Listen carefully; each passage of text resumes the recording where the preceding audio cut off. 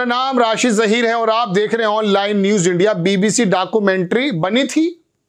और बीबीसी का जो मुख्य चैनल था, उस पर भी रिलीज़ नहीं हुई थी। यह भी मैं आपको नई खबर बता रहा हूँ। बीबीसी का एक दूसरा चैनल है, उस पर चली थी और इसका पंद्रह मिनट का पार्ट बीबीसी के मुख्य उस पर चला था। भारत सरकार को लगा, नरेंद्र मोदी जी को लगा, उन्होंने इसको बैन कर दिया।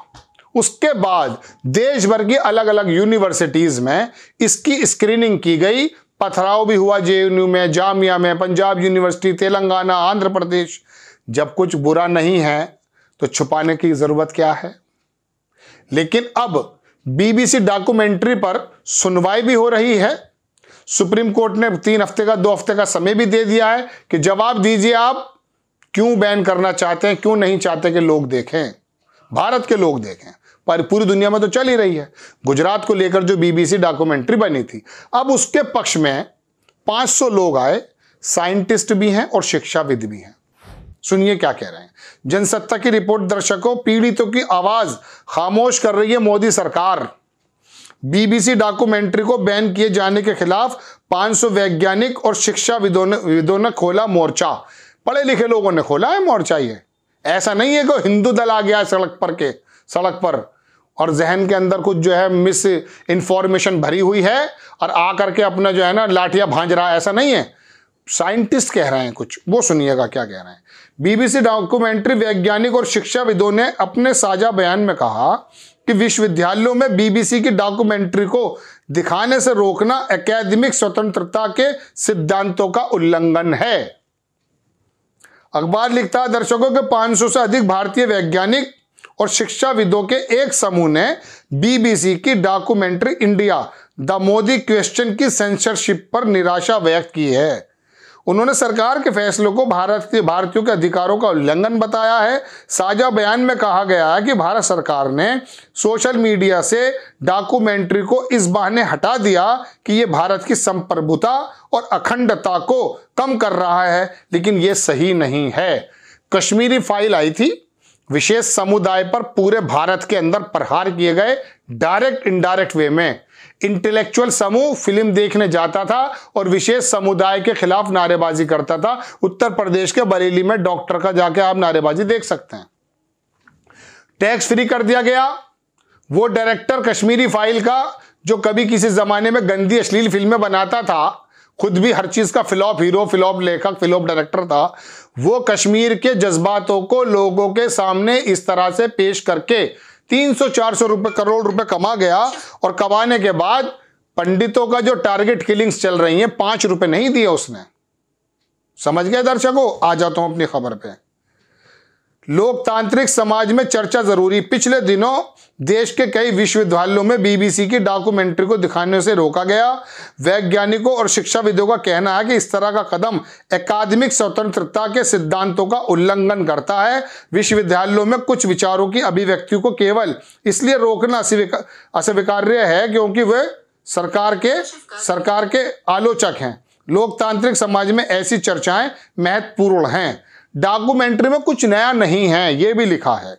बयान में कहा कि डॉक्यूमेंट्री ने मौलिक रूप से कोई मुद्दा नहीं उठाया। 2002 में राष्ट्रीय मानवाधिकार आयोग इस निष्कर्ष पर पहुँच गया कि गुजरात के लोगों के संवैधानिक अधिकारों की रक्षा करने में स्टेट स्टेट असफल रहा था। इसी तरह निष्कर्ष पर पिछले 20 वर्षों में कई विद्वान, फ़िल्म निर्माता और मानवाधिकार कार्यकर्ता पहुँचे हैं।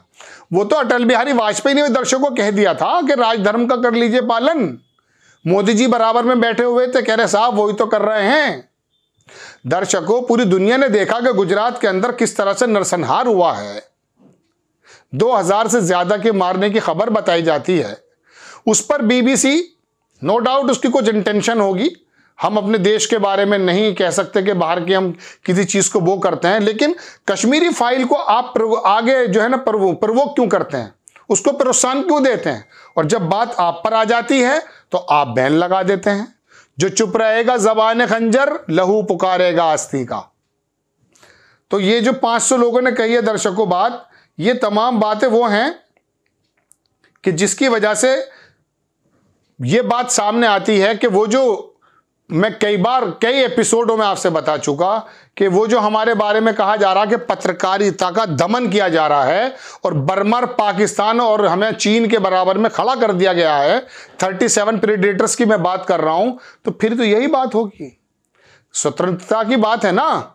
आपने तो जो तमाम न्यूज़ चैनल गोदी मीडिया के हैं, हिंदू मुस्लिम करते करते बूढ़े हो गए वो। आपने उनको रोका? क्योंकि वो आपकी चाटुकारी करते हैं, क्या ये सवाल नहीं उठना चाहिए? आपको उनकी भड़काई हुई आग नहीं दिखाई दे रही है क्या? पूरा देश इस बात को कह रहा है कि मैन स्ट्रीम मीडिया ने जितना अलगाववाद पैदा किया है किसी ने नहीं किया है? हद यह है कि सत्ता और विपक्ष की पार्टियों ने भी इतना अलगाव पैदा अलगाववाद पैदा नहीं किया। गोदी एंकर्स गोदी मीडिया मीडिया रात दिन आपके चरण चुंबक बने हुए हैं। क्या आपने उनके ऊपर कुछ किया? सुदर्शन चैनल का मालिक जेल गया। तमाम दीपक चौरसिया ने हंगामा उतारा। हालाँकि कुछ जगह सुप्रीम कोर्ट ने डांट भी पिलाई है। वो शर्मा करके लड़की आगे आती है। विशेष समुदाय के नबी के बारे में उल्टी सीधे बग बात बोलती है। देश के अंदर किस तरह की व्यवस्था हो गई थी? किस तरह की अस्त व्यवस्था हो गई थी? और कतर जैसा छोटा सा देश हमें धमकाने के लिए कह रहा कि पब्लिकली भारत माफ़ी मांगे। उसको क्या एक घंटे के लिए हिरासत में आपने रखा? आपको ये बातें समझ में आती हैं कि बीबीसी ने हमारे कच्चे चिट्ठे क्या खोल दिए हैं? मैं तो सवाल के रूप में पूछ रहा हूँ। क्या खोल दिए हैं? जो आपको लगता है कि बंद कर देने चाहिए। आप तो आज़ादी के समर्थक थे। आपने तो जब इंदिरा गांधी जी ने लगाई थी इमरजेंसी उसके बारे में आप बार बार अपना गला चीख चीख कर कहते थे कि साहब बड़ा देखे क्या दमन हुआ है? और आज जो दमन हो रहा है साहब यूट्यूब चैनल्स बंद कर देते हैं सोशल मीडिया पे आवाज़ बंद कर देते हैं, कोई बोल नहीं सकता और धर्म संसद लगाने की पूरी इजाज़त है। क्या वो लोग देश के माहौल को खराब नहीं कर रहे उनको कुछ जेल के अंदर नहीं फेंक देना चाहिए उठा करके? चाहे वो धर्म से ताल्लुक रखते हो, चाहे वो किसी जो है चैनल से ताल्लुक रखते हो। तो अब ये जो 500 लोग हैं, क्या इनका भी दिमाग फिर गया है? ये भी पागल हो गए हैं। ये सवाल उठना चाहिए। ये लोग क्या कह रहे हैं? कि आपने एकेडमिक जो आज़ादी है, उसको दमन कर रहे हैं आप? जेएनयू को, दर्शकों आप शुरू से देखिए वो सत्ता के अक्सर जो सवाल उठाने का काम करते हैं, लेकिन आज जेएनयू को बना क्या दिया है? अब इन 500 जो ये साइंटिस्ट हैं, इनकी लिस्ट ढूंढ करके इन्हें भी कैसे ना कैसे करके वामपत्ती पाकिस्तानी कुछ बनाने की कोशिश कीजिएगा। क्या ऐसा करेंगे? आगे अखबार लिखता है दर्शकों नीचे कि बैन का विरोध बीबीसी का समर्थन नहीं। वैज्ञानिक और शिक्षा शिक्षाविदों ने अपने साझा बयान में स्पष्ट कर दिया कि बीबीसी की अमुक डॉक्यूमेंट्री पर लगे बैन की आलोचना को पूरे बीबीसी संस्थान या ब्रिटिश स्टैब्लिशमेंट का समर्थन ना समझा जाए। हम जानते हैं कि डॉक्यूमेंट्री में दिखाने वाले जैक स्ट्रॉ ब्रिटेन के पूर्व प्रधानमंत्री टोनी बिलेयर के मंत्रिमंडल में ब्रिटिश विदेश सचिव थे। ये भूमिका वो इराक के खिलाफ। बहरहाल उनका कहना यह कि हम पूरे बीबीसी को जो है समर्थन नहीं दे रहे हैं। वो किस तरह प्रकार की जो है पत्रकारिता करता है, इसमें कोई दो राय नहीं है।